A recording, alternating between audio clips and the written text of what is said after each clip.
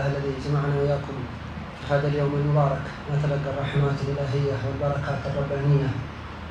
ونتواصى بالحق والصبر ونأخذ بالاقتداء والاهتداء بالنبي المصطفى محمد صلى الله عليه وآله وصحبه وسلم. Alhamdulillah, we praise Allah subhanahu wa ta'ala that He allowed us and facilitated us for us all to gather on this blessed day. in seeking the divine outpourings and that which Allah subhanahu wa ta'ala has to give to those who turn to Him. والذي جعلها المولى سبحانه وتعالى سببا لإسعاد البشرية والإنسانية The, the Prophet sallallahu alaihi wasallam, the source of all this blessing, he was the one that Allah made and designed to be the source كما of قال all of المولى these rahmah. سبحانه وتعالى وما أرسلناك إلا رحمة للعالمين فالمولى جعله رحمة للعالمين من الإنس والجن والملائكة And Allah taught us within, the- uh, informed us in the Quran, وَمَا أَرْسَلْنَاكَ إِلَّا رَحْمَةٍ لِلْعَالَمِينَ we have not sent you except as a as perfect compassion to all, all the worlds, all realms of existence. فالنبي الأعظم صلى الله عليه وسلم وتعاليمه في هذه الحياة هي سبب سعادة البشرية في الحياة الأولى وفي الحياة الأخرى So the teachings of the beloved sallallahu alaihi wasallam is the essence and the source of all forms of true happiness in this life and the next. جعل المولى سبحانه وتعالى حياتنا هذه الدنيا حياة مؤقتة ومرحلة وسطى من أنواع الحياة نحيا بها ونعيشها ثم ننتقل إلى حياة أخرى أعظم وأكمل وأسعد منها And Allah made or decreed that this life is temporal. It, it's limited. We have a limited amount of time and then we transition into an internal reality. وكل حياة أطول من الحياة التي قبلها And each one of these planes of existence or experiences of different realities and realms, each one, uh, the, as, as they continue, they become longer and more, more, uh, more eternal. They become وكل eternal. حياة أسعد من الحياة التي قبلها And every life or every plane or realm of existence has, is, is happier than the one before. وكل حياة تأتي الإدراكات فيها والمشاعر أوسع من التي قبلها And every life or experience of existence uh, has the capacity built in within it to experience things on a much deeper level than the one فمثلا prior to it. حياتنا في بطون أمهاتنا بل حياة الإنسانية كلها في بطون أمهاتنا فترة محدودة ملذات محدودة قدرات محدودة مكان محدود في بطن الأم هذه حياة بالنسبة لنا نراها قصيرة جدا تسعة أشهر So one of these dimensions of our existence as human beings, we exist within the wombs of our mothers. This is a, a limited period of time. It's a specified pe- period of time and it has a limited and particular experience. ثم ننتقل إلى حياتنا الأخرى حياتنا الدنيا في مكان أوسع وبملذات أكثر وبعمر أطول من تسعة أشهر إلى تسعين سنة. إذا مشت الأمور موازية للإنسان الأسباب المعتادة من الغذاء من الطعام من الظروف النفسية. ممكن نعيش إلى تسعين سنة. قد ينقص إذا اختلت هذه الظروف إلى سبعين إلى ستين. وهو الغالب هذا كما قال صلى الله عليه وآله وصحبه وسلم أعمار أمتي من الستين إلى السبعين لكن إذا مشت الأمور مواتية للإنسان فقد يصل إلى التسعين. After مقابل which, للتسعة الأشهر التي في بطن الإنسان after which, moving, from, transitioning from this dimension, the plane of existence within the mother's womb, we enter into hayat dunya, the realm of the uh, ephemeral world, the dunya. Typically, a human lifespan can be around its, its normative limits are around 90 years of age. However, the Prophet ﷺ said, the the normative lifespan of my ummah is between 60 and 70 years of age, years old. So this is very different from the nine months which we've spent in the wombs of our mothers, and the the experiences that a person can have whilst in the world are more elated, they're more palpable, they're more they're deeper. ثم تأتي حياة أخرى وهي حياة البرزخ حياة الروح أوسع من حياة الدنيا وألذ من حياة الدنيا وأسعد من حياة الدنيا. نحن نخاف من الانتقال إليها لأن بصائرنا لا تشاهدها. فنقدم على عالم مجهول. والطريق للوصول إليه مخوف عن طريق القبر يضع الإنسان فيخاف هذا المجهول لكن المنور البصيرة الذي فتح الله قلبه يرى ببصيرته مثل ما يرى بعينه يعرف أنه مجرد انتقال إلى مكان أسعد وإلى مكان ألذ وإلى مكان أحسن وإلى مكان أوسع كل من نور الله بصيرته And then we transition to another dimension known as the life of the barzakh, the intermediary stage. This is an unknown phase for all of us. Normatively, people are frightened because they're frightened of the unknown. But the people that are illuminated, they understand the nature of these transitions to these various dimensions and realms within our existence. that if a person does good, that they're entering into a more elated, a deeper, a more profound, palpable experience.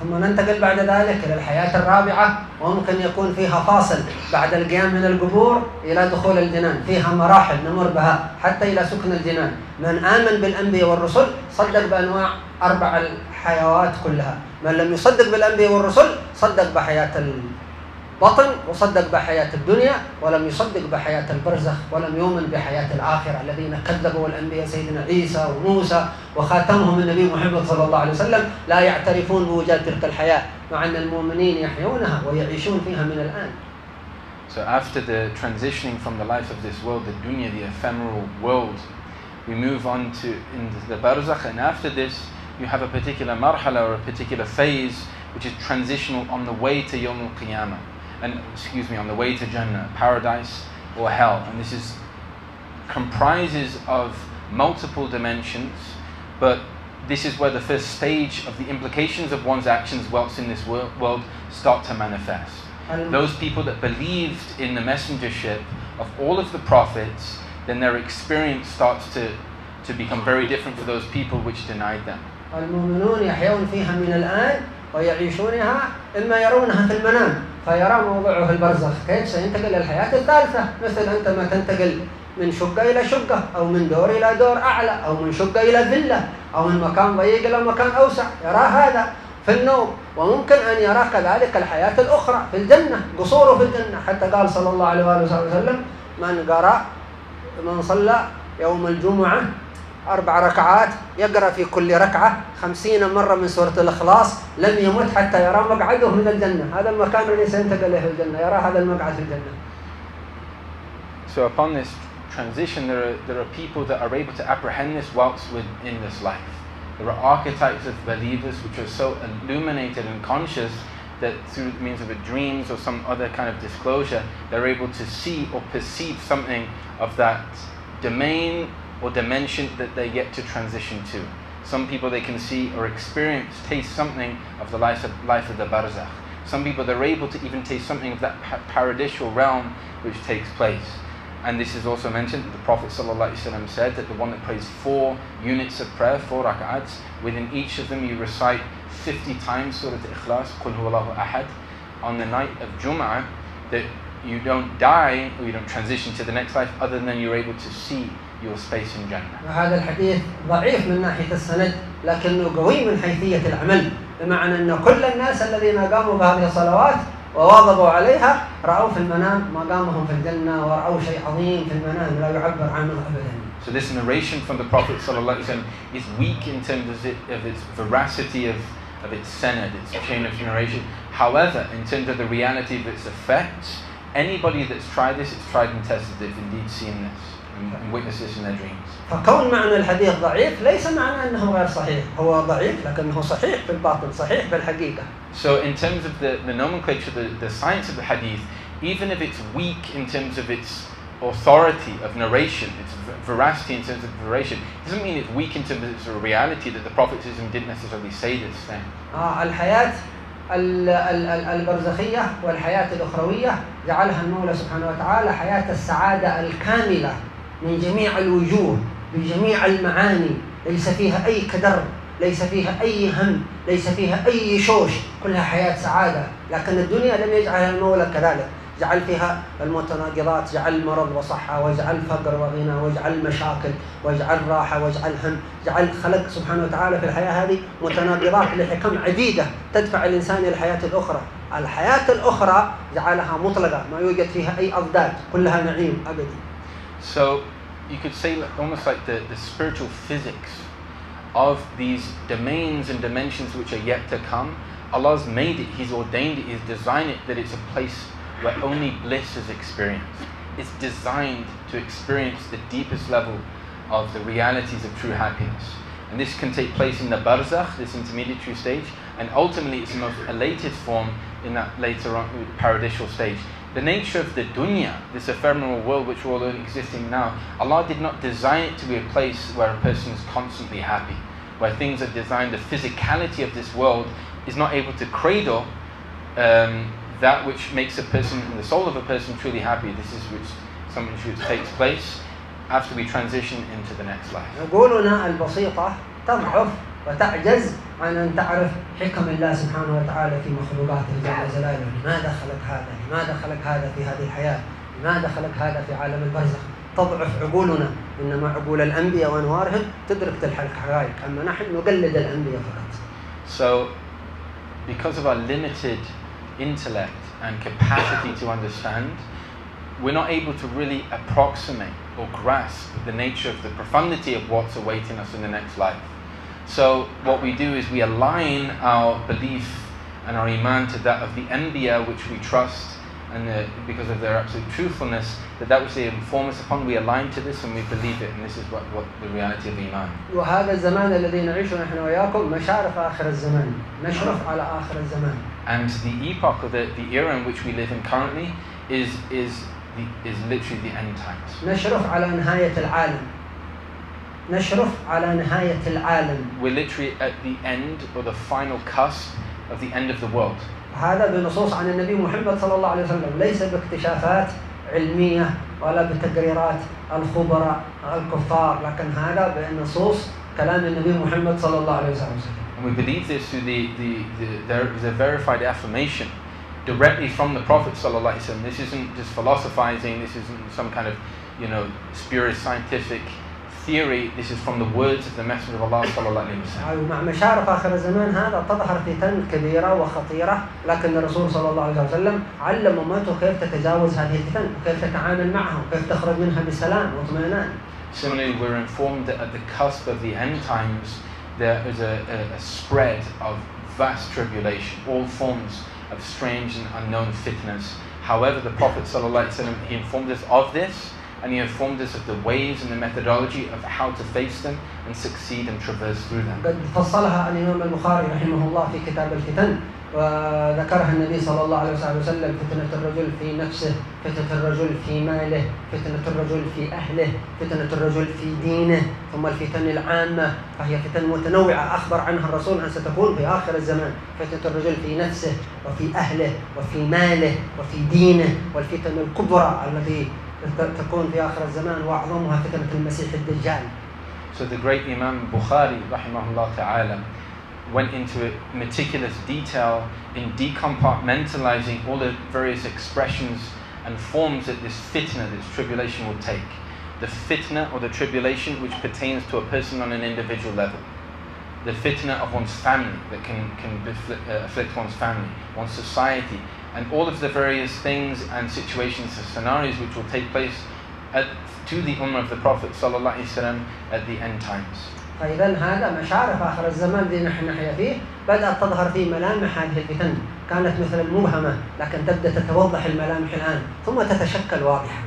So in the stage of things, certain of some of these pre-told fitnas, these these tribulations and calamities will kind of almost be cloudy at the beginning. You won't be able to understand what they truly are. But as time goes by, it will be become clearer and clearer that this is exactly what the Prophet ﷺ was referring to, and therefore we'll know how to deal with them. نعم والمخرج كما قال النبي صلى الله عليه وسلم حدد عدة مخارج من هذه الفتن انظروا كيف المخرج الأول المخرج الثاني المخرج الثالث كتاب الله قال مخرج لمن يقدر أن يستمد من أنوار القرآن فيغتني به عن غيره لمن يقدر أن يأخذ مفاهيم القرآن أما من يأخذ ألفاظ القرآن فقد لا يدل القرآن على المخرج الكبير العظيم من هذه الفتن So the Prophet ﷺ literally laid out to laid out to his ummah all of these ways out, these channels in order to succeed from being uh, inundated by all these fitnas. One of them that the Prophet ﷺ, one of these channels that the Prophet ﷺ mentioned was to be completely immersed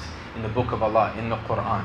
And Habib Kadhim then went on to say there's a caveat to this. It doesn't mean somebody that just suffices with the outward utterance, but somebody who's deeply reflective and really engages and immerses themselves in the reality of the Quran. Somebody may be reciting the Quran, but it may uh, be deficient in terms of its strength on the heart and how it, how it guards a person in, in protection from these. حق عز وجل قال عن كلامه العظيم هذا أنه سيجعل على قلوب الكفار أن أن تفهم القرآن. قد تسمع بآذانها لكنها لا تفهم القرآن. كذلك نحن المسلمون على قلوبنا أغلفة أغطية.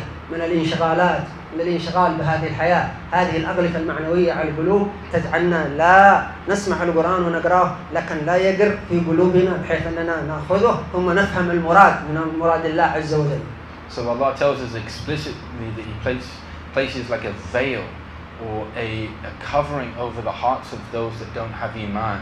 Now, this is somebody that is, is in the state of kufr. However, a similar thing can pertain to the believers if they don't have due reverence and truly immerse themselves in the reality of the, the Quran. They can read it on a superficial level, but there are degrees to unveiling and consciousness in the realities of the Quran. Only those that delve deeper and deeper and bring it upon themselves to truly immerse themselves in the Quran will be uh, sufficiently protected. لذلك عندما نقرأ القرآن في آخر الليل تبدأ يعني ونترك المشاغل المعتادة في النهار كثرة المشاغل نقرأ القرآن في آخر الليل تبدأ هذه الأغطية في التزحزح عن القلب.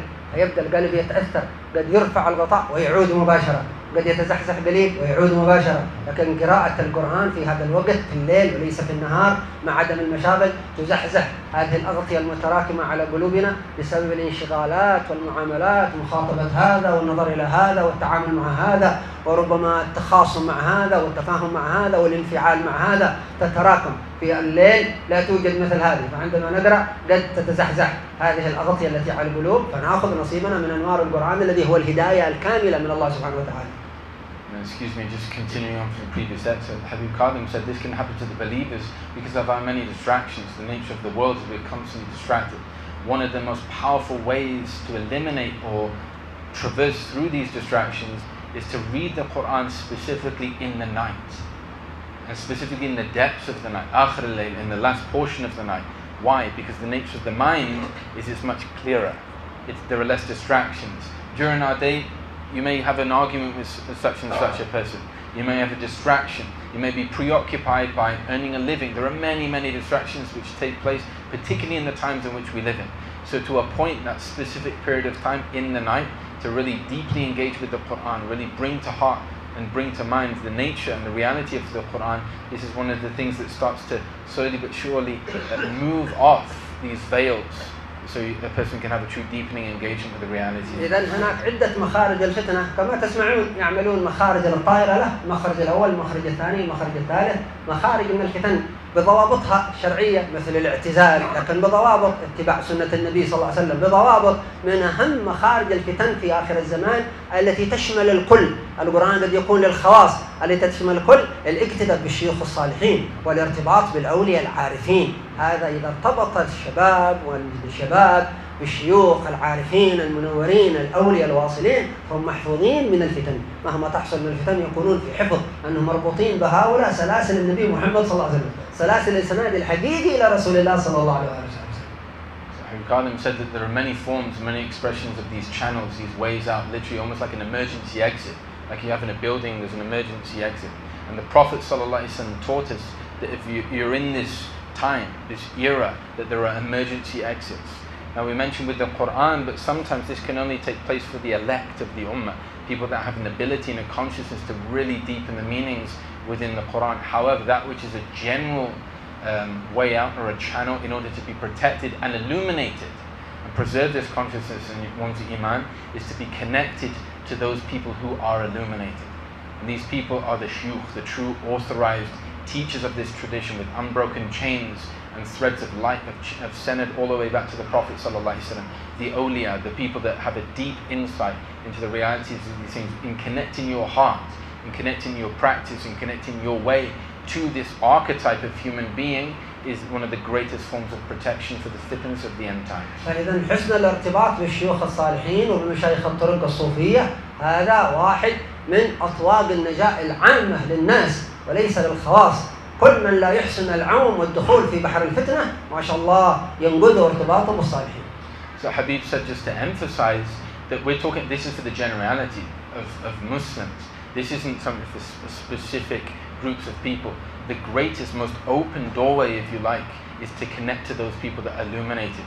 Because if a person slips or they fall in the nature of the fitna because of their spiritual insight, they're able to grab this person and stand them back up on their own two feet. فالشيوخ الصالحون نفعنا الله وإياكم بهن. ونواب رسول الله صلى الله عليه وسلم الموجودين في أمة النبي صلى الله عليه وآله وصحبه وسلم في مشارق الأرض ومغاربها. هم الذين يرسمون للناس طرق السلامة طرق النجاة. كيف يسلمون من الفتن التي تكون في آخر الزمان؟ بشرط حسن ارتباطهم بهؤلاء الشيوخ النورانيين الأولياء الذين عندهم الأنوار الخارجة. كيف يرتبطون بهم فتحصل لهم السلامة من الفتن الصغيرة والفتن الكبيرة.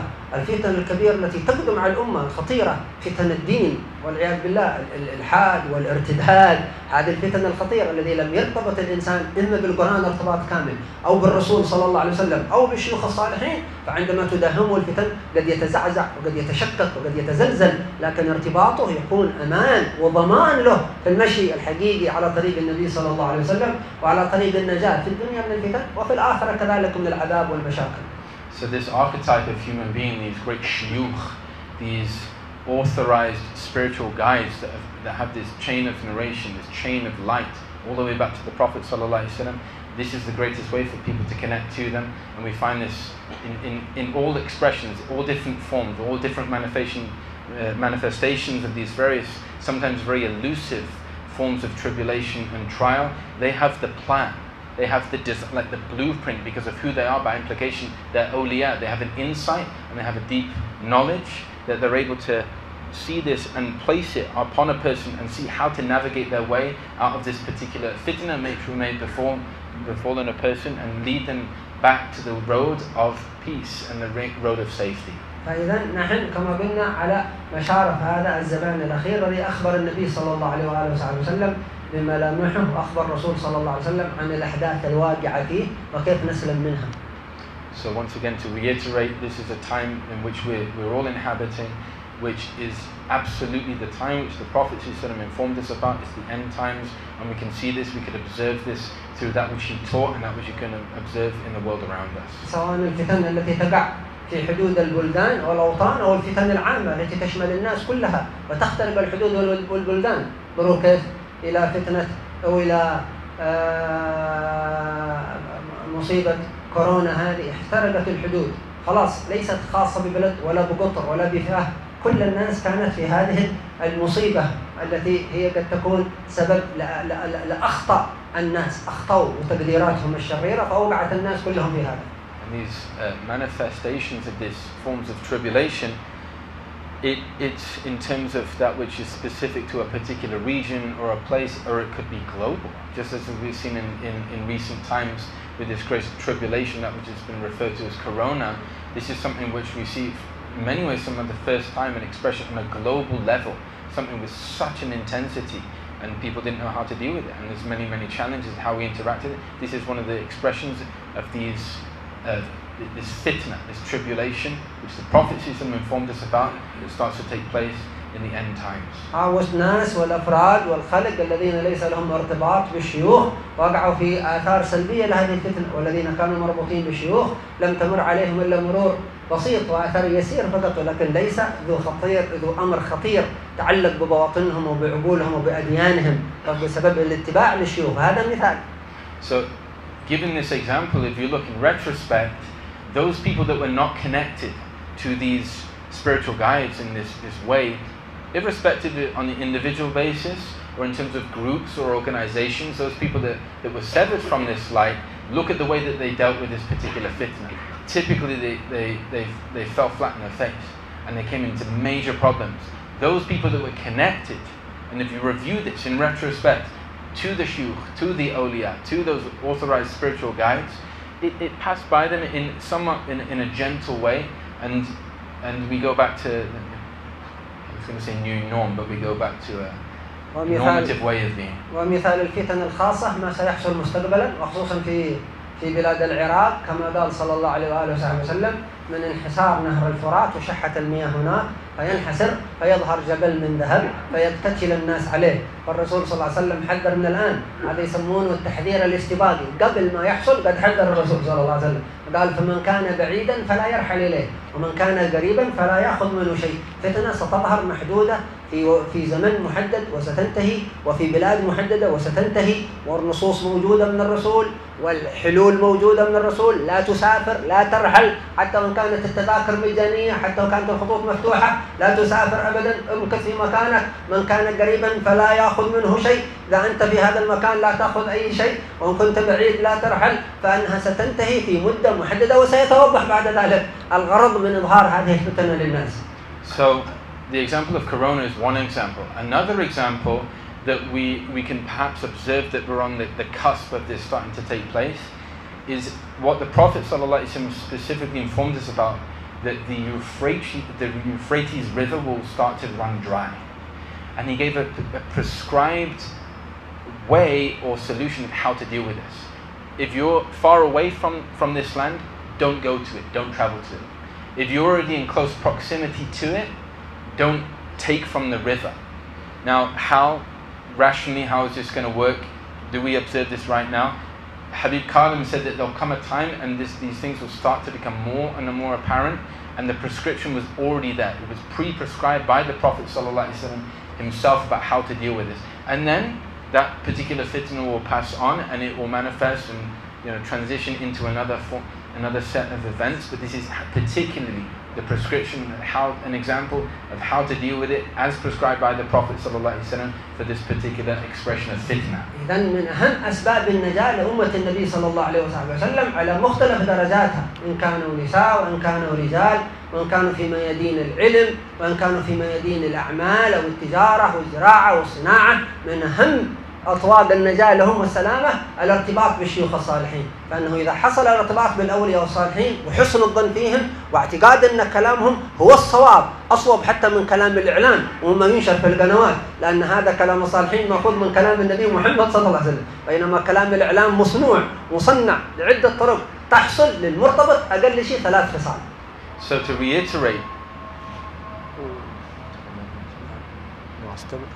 so to reiterate, irrespective, men, women, young, old, no matter what kind of profession you're in, what kind of, if you're in farming, if you're in a, any form of profession, the ultimate way out, or the ultimate source of safety, is an authentic, true connection back to those authorized spiritual guides. Why? Because they are only that they've only become that archetype because of their meticulous following of the teachings and the light to the Prophet himself. We follow them because they follow him sallallahu alaihi wasallam. تحصل للمرتبط ثلاث خصال استمر الأخ مصعب مع الأذان لأنه في فتوى للشافعي الصغير. اسمه سيدنا الإمام الحبيب أحمد بن زيد الحبشي. قال إذا أذن المؤذن وأنتم في عمل ذكر أو في خير فقال كله خير يعني. فليس كما يقول بعض الفقهاء لابد من ترك الخير لاجل إجابة المؤذن والفقه واسع يعني. لا يمثل لا يمثل الإسلام فقيه واحد ولا مذهب واحد دين الله اوسع من المذاهب ومن الفقهاء هم ياخذون من بحر الدين يعني So Habib Qasim said, you're going to notice now we're going to keep on talking. And then even if the adhan goes off, because one of the positions, authentic positions, is if you're in the middle of something which is khair, of religious um, benefit, you keep on doing it. And the nature of the vast spectrum and diversity within the different schools and authorized madahib is that we can take from this when the appropriate time and the appropriate moment is needed. So this is the reason, in case any of you are wondering why we're going to continue going on. So then Habib Kadami said, one of the three things come primarily from following the shuyukh. فاذا اقل ما يحصل للمرتبط بالشيوخ في زمان الفتن ثلاث خصال وهي مهمه جدا تحصل له هذه الثلاث الخصال وكل واحده اهم من التي قبلها. So these three primary traits, which it, it's the least it, that can happen, it's one of the three things that are destined to happen, you can say, in connecting to these authorized spiritual guides. Each one of them, as you proceed through them, they're going to be more important than the previous one. فان الشيوخ يعني بتعليماتهم الن- النورانيه يحسنون تطبيق كلام النبي محمد صلى الله عليه وسلم. وايضا فهمهم صحيح لمراد النبي محمد صلى الله عليه وسلم، هذا يفهم من هذا الحديث كذا، هذا يفهم كذا وكذا، فيحصل اختلاف، ما هو الفهم الصحيح؟ الفهم الصحيح لهذا كذا وكذا وكذا.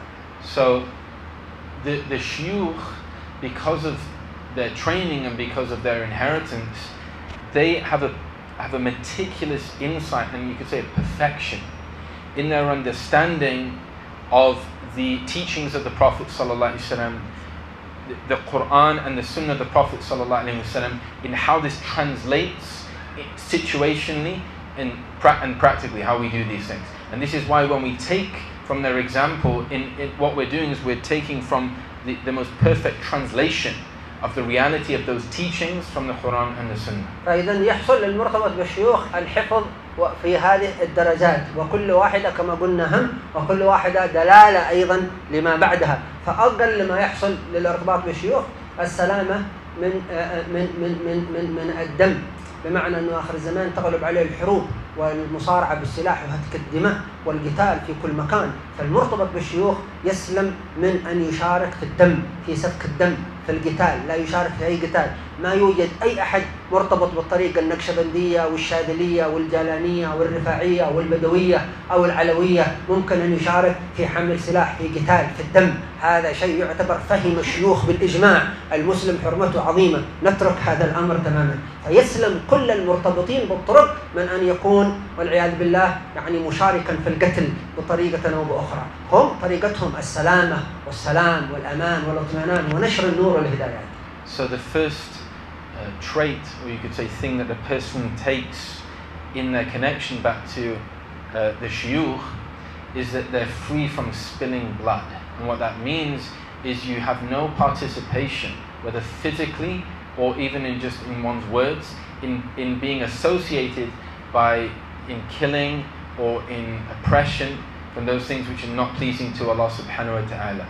And this is the, this you could Habib Kadhim said this is a consensus amongst the, the great spiritual guides and trainers of this tradition, irrespective whether they're Ba'alawi or Naqshbandi or Shadili, all of the authorized authentic schools of thought, you'll notice towards the end of time that they're very, very serious about warning their those people that, that, that follow their way to engage in spilling blood without due right. ويحصل أيضا الارتباط الآخر سلامة اللسان.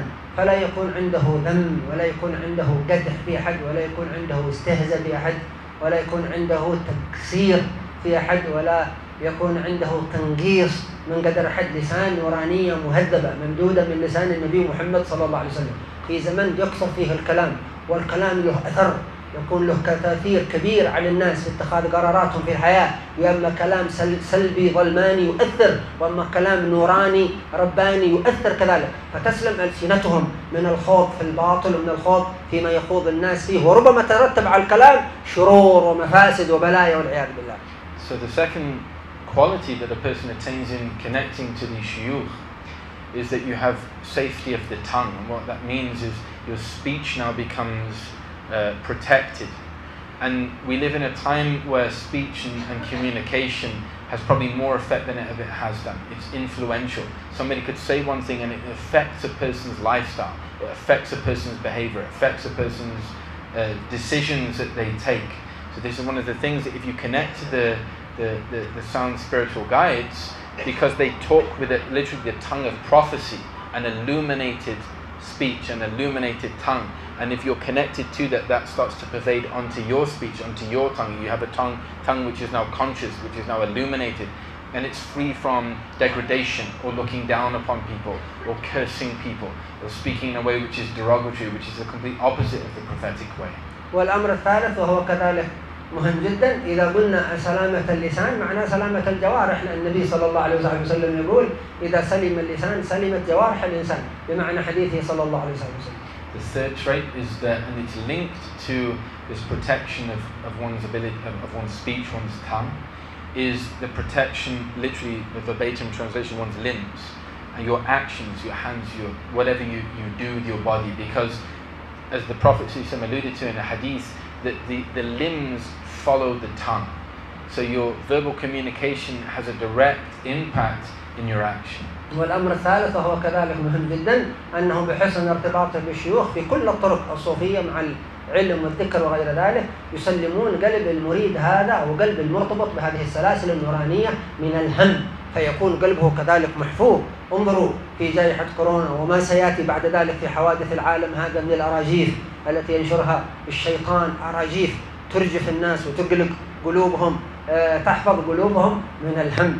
فيكون محفوظا من الهموم. لأنهم ماذا؟ لأنهم يجرعون القلب هذا معاني الطمأنينة بواسطة ذكر الله، معاني الرضا بالقضاء والقدر، معاني الاستسلام، معاني التفويض، كلها صفات نورانية يهدى بها الباطن ويرتاح بها القلب. مهما حصل حوله من الأراجيف لا يبالي ابدا. القلب داخل مطمئن.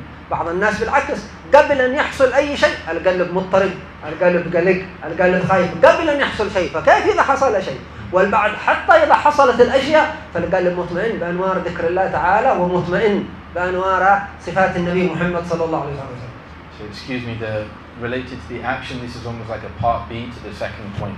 Your actions follow the tongue, and this is related to the second trait which takes place with those people that follow authent- authorized spiritual guides.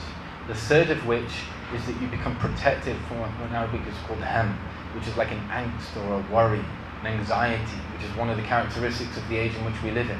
People that have that authentic connection because it's related back to that illuminated way, that illuminated presence, that illuminated methodology of the Prophet wasallam, you'll find that they're protected. And we see this in the lights of recent events, that which we refer to as corona, is that there are people that were truly connected to Shuyukh, that they have this um, uh, dis- this, this displacement where, they're, where they are uh, at peace with those things and they're able to navigate and deal with these things around them. The opposite of which is if you're seven and you don't have this channel back to Nur and back to this light, is that even sometimes you'll find prior to something happening, just the threat or the concern of something, it may potentially happen, people are in a default state of angst and worry and concern and anxiety. Mm. So what, and Habib Khan Khan says, what, what's their state going to be like if actually something real does happen? آه، أن هذه الحقائق تنمو في الإنسان نموا معنويا ولا يشعر بها كما ينمو بدنه ولا يشعر بنمو البدن ولا بطول الشعر ولا بالأظافر. فكذلك بركة الارتباط بالشيوخ مع الذكر لله والعلم وتصفية الباطن يحصل هذا النمو للصفات النورانية تدريجيا من الطمأنينة والقضاء والقدر حتى يصل الإنسان إلى درجات عالية المسلم في هذه الصفات. So Habib said one way to view it is the way you feel the effect of this connection. It may not be apparent, or you may not be able to even observe it. Habib made the similitude.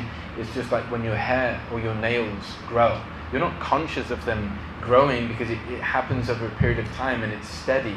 Similarly, is, is the effect on the heart and the illum- these illuminated attributes, literally sifat nuraniya, Habib Qadir mentioned. These are, these are attributes within the heart which start to grow and become cultivated You're not aware of, but after a period of time, you'll start to realize that you're free of that angst, you're free of that worry, you're free of that anxiety, and this is part of that, the reality of this inward connection back to these illuminated beings. فإذا تكون بواطنهما محفوظة بهذه الأنوار من الاضطراب التي يكون في قلوب الناس العاديين بركة ارتباطهم بالشيوخ الصالحين So once again, to reiterate, this archetype of people that connect truly to the, the sound illuminated uh, scholars and awliya, that their hearts are cultivated with peace, tranquility, serenity, and this is something very different from what we may witness from other people, even facing the exact same set of circumstances. والحكايات في هذا كثيرة ملآنة في كتب الرقائق وكتب التفسير وكتب التصوف And the examples of how this transpires practically in terms of people's lives are, are, are, are, um, are plenty. Were we to read the books of Tasawwuf and spirituality and the stories of these great people that had cultivated within them these great spiritual attributes. نعم في شرح الحكم أن أحد الملوك الجبابرة غضب على أحد الشيوخ الصالحين فألقاه في السجن So one of the examples is, is in the commentary of the aphorisms, uh, the Hikam Ibn Atta'illah Iskandari, that he that in the commentary of one of these things he talked in one of these in, in, in this book he talks about one of the tyrannical rules at the time that oppressed one of these illuminated awliya فذلك الملك الظالم جوع أسدا أو سبعا عن أيام شديدة حتى ساء خلق الأسد من كثرة الجوع so he arranged or facilitated an, uh, a prison for this particular person threw him in it starved a ferocious lion and then let him loose on this wali within the prison ثم يعني أطلق الأسد هذا على الشيخ وهو في السجن حقه يريد أن يفترسه So they, they geared everything up and they set the entire situation and literally let, let the, the line loose on this sheikh and this great wali. وبقي هو وجنوده ووزراه ينظرون ويتفرجون كيف سيفترس هذا الأسد هذا هذا الشيخ مع شدة جوعه And this tyrant and all of his kind of entourage and his, you know, the courtiers, courtiers, they looked on in anticipation of, of what's going to take place. In expectation, this lion's just just going to rip into this sheikh. فأطلقوا الأسد وصادف أن الشيخ كان في ال في ال هذا المكان كان يصلي كان يصلي ويركع يركع So- قائم يصلي So he let the lion loose at the time when the sheikh was in the middle of prayer. He was praying, and that, that's when he thought it was a good moment. We're going to let the lion loose. فأقبل الأسد على هذا الشيخ وهو يصلي ولم يتحرك من الصلاة ولم يخرج من صلاته. بقي يصلي فلما وصل الأسد إلى عنده. بقي آه، آه، آه، ربض في اللغة العربية. ربض يعني جلس على بطنه ويديه. الربض أمام الشيخ عندما وصل إلى السجود وعندما وصل إلى التشهد. وبقي الأسد يلعق أقدام الشيخ كالقط الصغير والشيخ يصلي. So the, the sheikh wasn't even conscious of what was taking place, and the lion, it raced up to him, but immediately sat down. And the word that you use, rabat in Arabic, it literally means the lion lay down on its, on its tummy and just started to lick the, the, the feet of the sheikh, just like it was a little kitten. Until the sheikh just completed in complete serenity the end of his prayer, the tashahhud, the final taslim, and the lion was there just like a little kitten next to him.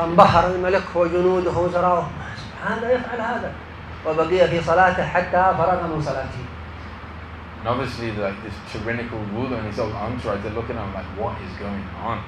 They find it, they're looking on onto this until the, the man continued and finished his prayer. نعم فأخذ والشيخ حينئذ كيف أنت سألوه أول شيء أنت ما خفت أم أقبل أسد نحوك So the first thing he asked the sheikh is like, what are you? What's going on? He goes, we, we set a lion, a hungry lion loose on you, and you didn't move a muscle. You just remained in the prayer. ما قال لهم ما خفته ولا أخاف شيئا سوى الله سبحانه وتعالى And he goes, and he goes, and you didn't even fear. And he goes, I fear nothing other than Allah.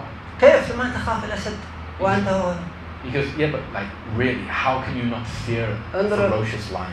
فانظروا كيف ربنا عز وجل يقذف الطمأنينة في القلوب and just consider carefully how Allah subhanahu wa ta'ala thrusts this deep spiritual serenity in the depths of people's يقذف hearts. الطمأنينة في القلوب في مختلف الأحوال ثم سألوه طيب بماذا كنت تفكر عندما كان الأسد حواليك كان يلعق قدميك So after this, this thrusting of this deep spiritual tranquility and serenity in the heart of the Shaykh, he said, okay, that's one thing. But what were you thinking about when this lion was approaching? فقال الذي خطر في على بالي تلك الحالة وفكرت فيه هو أقوال الفقهاء. هل أحد من الفقهاء يقول أن سور السباع نجس؟ أخاف أن بعض الفقهاء تقول أن صلاتي بطلت على ذلك المذهب وأن سور الشفاء السباع طاهر. هذا قال أتفكر فيه. أخاف أن تكون بطلت صلاتي على بعض المذاهب الإسلامية وأنا الصلاة هذا الذي أفكر فيه وأخاف منه. ليس أخاف من شيء So the, the tyrant was saying, what was going through your mind when this was taking place? He goes, you want the truth? When the lion came close to me, I was thinking, are any of the scholars, did they permit that, that, that saliva of a lion is, permiss, is, is najis or not?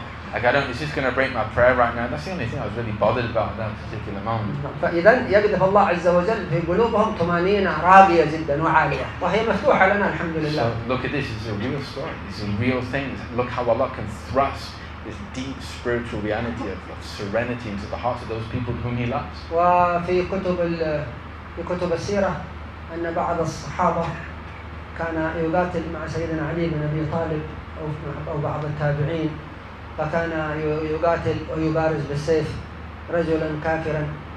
ثم والناس ينظرون إلى المبارزة فالرجل الكافر هذا تمكن أنه يضرب السيف من يد ذلك المسلم وأن يلقيه أرضا ورفع سيفه ليطعن ذلك الرجل المسلم.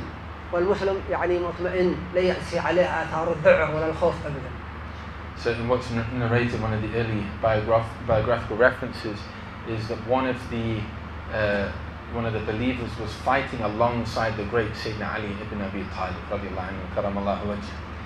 and a group of the believers were looking on and they were fighting these the kuffar and one of the kuffar took his sword and smashed it so hard again it knocked his this man's sword that was fighting alongside Sayyidina Ali out of his hand onto the floor the man immediately towered on top of him ar- about to strike.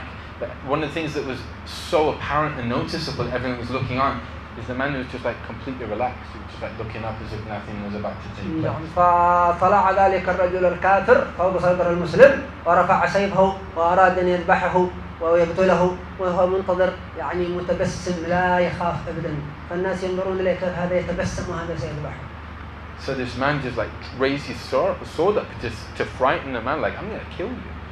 But the people looking on, they described the man. He just sat like quietly and just started to smile, looking at the sword going straight for him.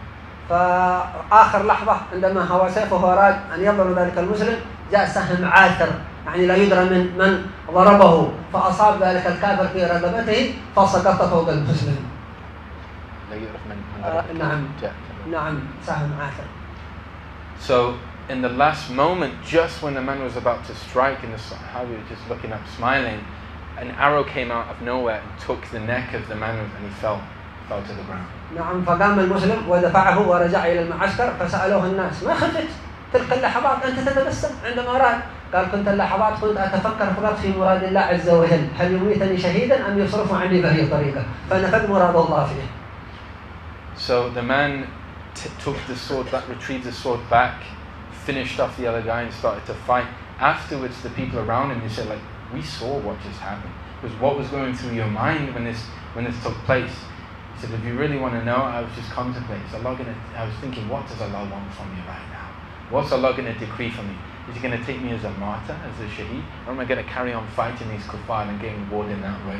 This is what's it going to be. فإذا قلوبهم كلها معلقة بالله سبحانه وتعالى So, to summarize, the, the, the rule here is every single one of their entire affairs وهذا من is, is تأييد الله connected to Allah subhanahu wa ta'ala. من تأييد الله سبحانه وتعالى للمؤمنين وللصالحين وللمرتبطين بالأولياء الصالحين And this is an expression of how Allah helps those people that connect to Him. وقد حصل هذا لأصحاب النبي صلى الله عليه وسلم في غزوة أحد And this happened in the battle of Uhud to the Sahaba عندما اشتد عليهم الكرب في غزوة أحد when the, the, the fighting became intensified. سلط الله سبحانه وتعالى عليهم النعاس That Allah subhanahu wa ta'ala caused the Sahaba to become so tranquil they started to fall asleep. يعني الناس في حرب وفي قلق وخوف والصحابة كانوا ينعسون قال سيدنا طلحة حتى سقط السيف من يدي مرارا حامل السيف يسقط من يده وينام حرب. هذا ليس رحلة أو نزهة. فينتبه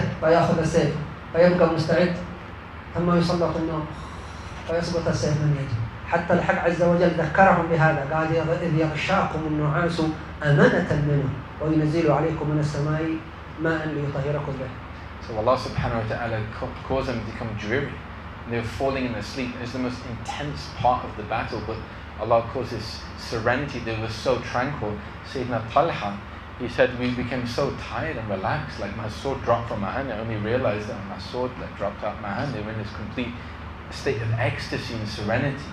And to such an extent that Allah reminded them of this within the Quran that when things started to become intensified, that we, we, we, we caused this serenity and sleepiness to pervade over you, to put you in a place of tranquility. وكذلك قوله سبحانه وتعالى في سورة آل عمران ثم أنزل عليكم من بعد الغم أمنة نعاسا يغشى طائفة منكم وطائفة ثم ذكر غير الآخرين قال وطائفة قد همتهم أنفسهم عندهم الهموم وسوء الظن يظنون بالله غير حق ظن الجاهلية وهؤلاء عندهم الأمان والإطمئنان والسكينة والنعاس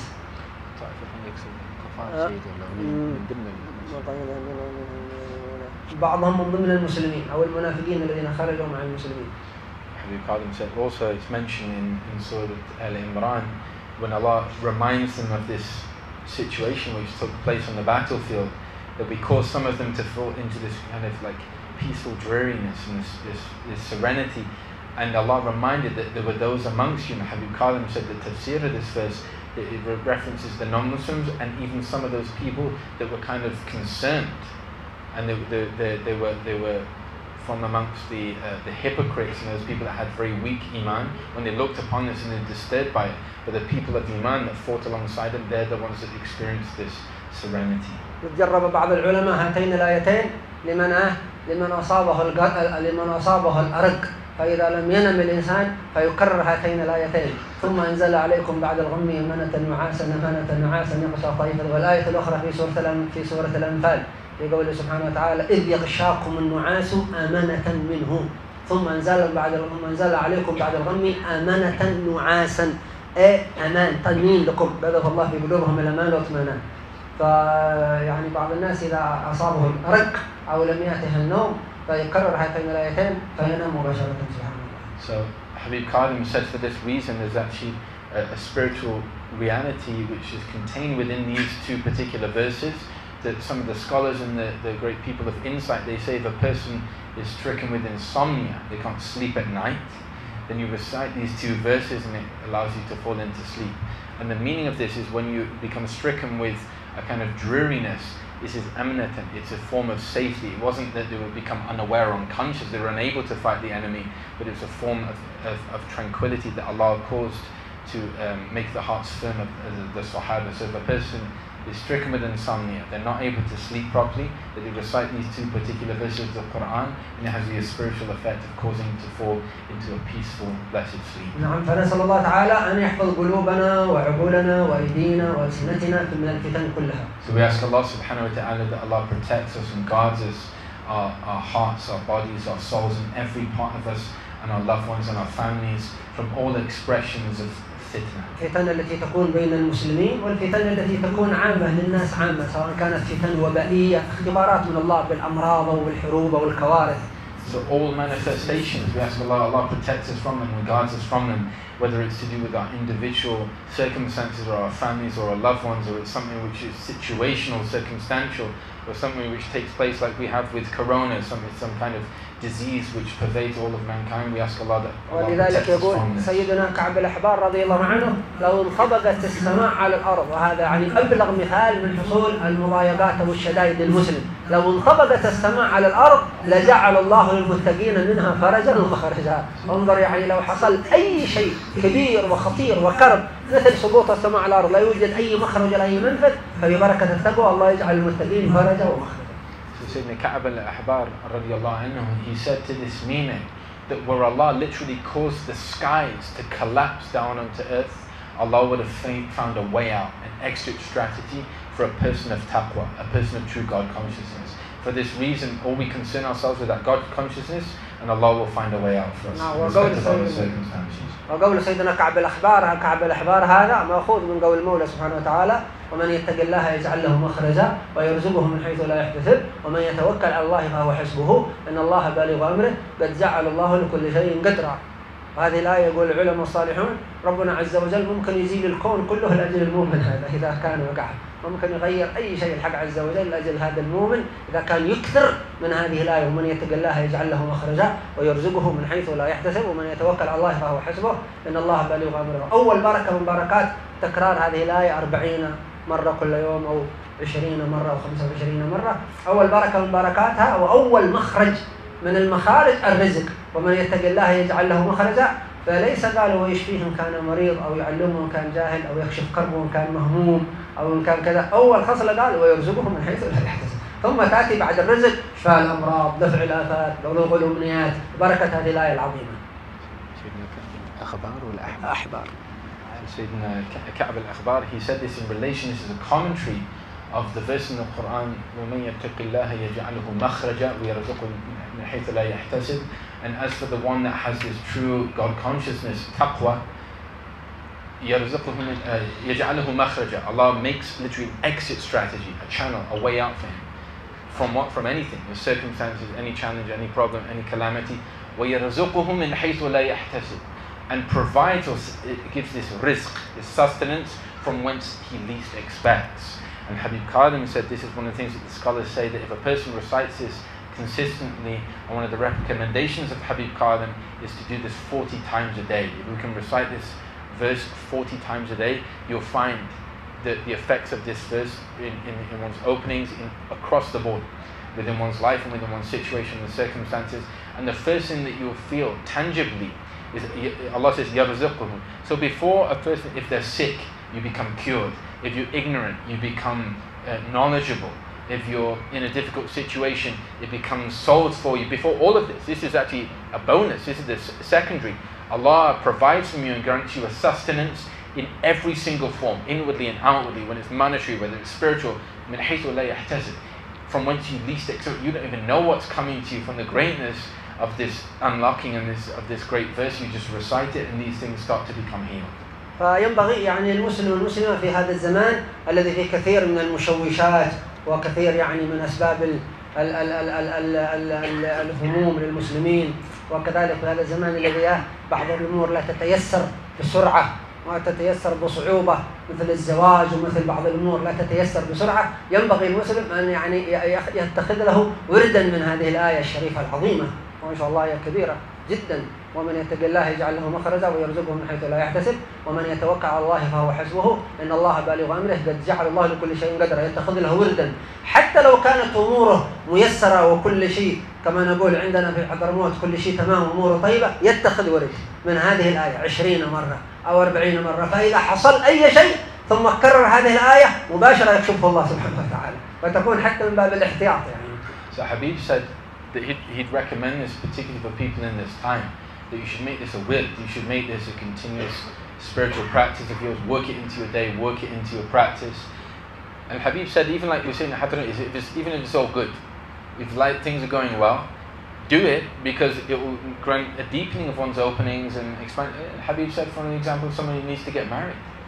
This is something you should do this with, you should do this spiritual practice in order to facilitate marriage and, and whatever else that you need in your worldly affairs or the affairs of the unseen or the next life. So this is an important will to, put, to, to, to, to recite this particular verse uh, frequently. نسال الله ان يوفقنا ان شاء الله وينفعنا واياكم اكمل الانتفاع We ask Allah subhanahu wa ta'ala He grants us enabling grace and, and, allo- and allows us to benefit in the most powerful of ways. ويحفظ أمة الإسلام في مشاق الأرض ومغاربها من جميع الفتن الباطنة والظاهرة And Allah protects and guards the ummah of Islam in the east and the west from all forms and expressions of fitna inwardly and outwardly. ويجعلنا وإياكم أسبابا للهدايات وللترقيات وللسعادات وللخيرات And that Allah allows to be to become means and conduits to guidance and elevations and, accent, uh, uh, and ascensions. ويجعل إن شاء الله هذه الدورات وقيام الذكر قيام آخر الليل وجميع المجالس هذه أسباب للفرج من الله حتى يأتي الفرج أسباب كبيرة لأن ينزل الفرج من الله سبحانه وتعالى And Allah makes the likes of this dawrah that's taking place and everything that you're doing, everything that you're performing, praying in the depths of night, the night, may Allah make it a means to unlock the outpouring of that heals the ummah and remedies the ummah and causes all of these calamities to be lifted. Because the true scholars and the, the shuyukh righteous shuyukh, they pray for the entire ummah. وليسوا لأهل بلدهم فقط أو أقاربهم بل لأمة الإسلام كلها They don't just pray for the people of the country they're from or their friends or their family, they pray for the entire ummah. أنت إذا دعوت لأهل بلدك مثلا حصلت على عددهم حسنات وإذا دعوت المسلمين حصلت على أعداد المسلمين حسنات So, and one of the reasons for this, their spiritual acumen, they understand what's going on. If you pray for just the people of the country you're from, you attain something of the spiritual blessing and the reward uh, in accordance to the amount of people you've prayed for. If you pray for the entire ummah, then you get rewarded for every single individual, which is vastly more expansive, that you've just prayed for. وندعو يعني لأقاربنا بالخصوص بالاسم نذكرهم بالاسم اللهم اهدي فلان واشرح صدر فلان ووفق فلان And we make a specific and particular dua for those people that we know and our close family or relatives by mentioning by name, oh Allah, guide and bless such and such a person, this person, that person, mention them by name. وانظروا إلى عظمة الدعاء المسلمين وأثره السريع في تقريب الإنسان يا رب عز وجل يقول النبي صلى الله عليه وسلم في هذا الحديث الذي رواه الإمام الطبراني وغيره من قال استغفروا استغفر الله للمؤمنين والمؤمنات سبعا وعشرين مرة كان من الذين يستجيب الله دعاهم وبهم يمطر أهل الأرض And look at the reciprocal effect of making dua for other people. Look at the dua. The, the Prophet ﷺ taught us if you make dua for other people, it has a vast spiritual effect. Where he said in a hadith, which is narrated by Tabarani and others, that the one that asks Allah for the forgiveness of the believing men and the believing win- women 27 times a day, that Allah subhanahu wa ta'ala makes this person of the archetype that their du'as are consistently answered. ومعنى هذا كان من الذين استجيب الله دعاهم وبهم يمطر على الأرض أنه يكون من الأولياء المخصوصين ومن الأبدال الصالحين ليس إنسانا عاديا مخصوصا باستجابة الدعاء من الله سبحانه And وتعالى if you want to know the explanation of what that means, a person's dua is always answered, you become one of the awliya. That's what that means. If you if you're constantly Allah's answering your dua, you become of this archetype, someone that's illuminated, where if you call upon Allah, your dua is answered. وبهم يمطر. أهل الأرض يعني أن يكون أيضا من العباد الذين إذا كان في مكان تنزل الرحمات ولا تقع الشرور أبدا and through this archetype of person that you you become by of the, the, the through them the rains fall and what this means it, it means uh, physically but it's also figurative or it's ma'nawi it's metaphysical that, that spiritual rains and blessings you become a source to unlock these things upon the ummah and كما on earth. مرة مع شيخنا شيخ شيوخنا الحبيب عبد القادر بن احمد السقاف مع والده الحبيب احمد بن عبد الرحمن السقاف أنه كان مدعوا عند بعض الناس وكان ذلك الناس يتاجر في آه، في تعرف ال- الغاز مثل ال- الغاز مثل البترول كذا مواد مشتعلة والبيت حقه ملآن. فدعا الحبيب أحمد بن عبد الرحمن السقاف فلما كانوا أثناء الطعام قام هذا الرجل مرعوب وخايف إيش حصل؟ قال عندنا هناك نار حريق هذا المكان كله زيوت سيلحق البيت وربما الجيران. الحبيب أحمد بن عبد الرحمن قالوا لا اجلس. كيف سيكون عندك حريق ونحن عندك في البيت؟ ما دمنا عندك في البيت ما يكون أي شيء سيء ابدا. جلس. قال لا نار هناك. فذهبوا فوجدوا النار قد انطفت فبهم يمطر أهل الأرض. بامر يسير. استغفر الله المؤمنين والمؤمنات استغفر الله المؤمنين والمؤمنات. One example of, of this archetype of person where these things happen or they become conduits where the divine mercy pours through is something that happened to the Shaykh of our, of our Shuyukh, Habib, the father of Habib Abdul Saqqaf, Habib Ahmed bin Abdul Rahman Saqqaf in, in, in Seymour. He was called out to one particular, to, for, to eat one day in, in, a, in one of the neighboring houses and the person who invited him was a local businessman. He was a trader. He had, you know, these storehouses and these um, these warehouses where he had all of his produce and whatever he was. And specifically, he would trade in the kind of gas cylinders which which they which they have and they use here typically. So he had this entire storehouse, and news reached him that the storehouse had caught on fire. So he rushes in back to Habib, Habib Ahmed bin Abdul Rahman al Saqqaf. He's like, Habib, I've got to go. This has taken place. He's completely, you know, beside himself. And he says, like, and Habib says, what, what happened? And he said, there's, a, there's an explosion that's taken place in the storehouse. It's full of gas. It's full of oils. It's full. He goes, that's not going to happen, and I'm sat here with you. And he says, and he said, and he said, no, but Habib, you don't understand. that things are exploding. He goes, I'm sitting here with you in your home now. It's not going to happen. He goes back. He goes, go and check in the house. He goes back and uh, go and check on the storehouse. He goes back, and there's just this small, like flame which took place, but the whole thing was extinguished in, in a few moments. and Nothing happened. And this is an example of those people that have cultivated their lives to be conduits of divine mercy. This can be activated, or this can be this this can be uh, started upon by being becoming of these people that ask for the believing men and the women to be forgiven 27 times a day. Astaghfirullah lil mu'mineen wal mu'minat. نسأل الله إن شاء الله يرزقنا وإياكم محبتهم ويجعلنا م- م- منهم ومعهم وفيهم إن شاء الله So we ask Allah subhanahu wa ta'ala that Allah makes us of that archetype of people and He brings us amongst them and connected to them.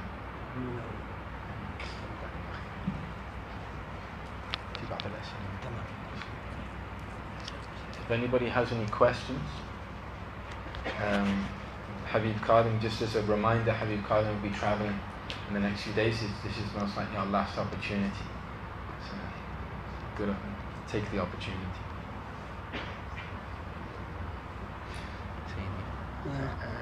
ترون هو أفضل أن ننتقل؟ إلى جوار شيوخنا. إيش كيف؟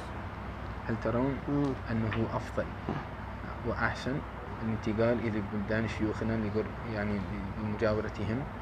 أو نرجع إلى الغرب مثلا لكي آه، نبلغ الدعوة المحمدية. نعم. So the question is, is asking Habib, does he think that it's best that we move move near to our shuyukh, we come closer to their lands and we, we take a residency where they live, or that we do go back to the West or anywhere else and perform the da'wah.